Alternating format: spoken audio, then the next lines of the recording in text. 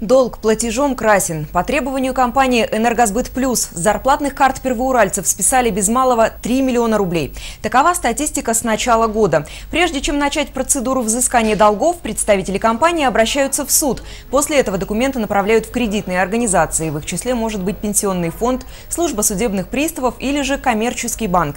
Добавлю, что первоуральцы задолжали за тепло и электричество порядка 150 миллионов рублей.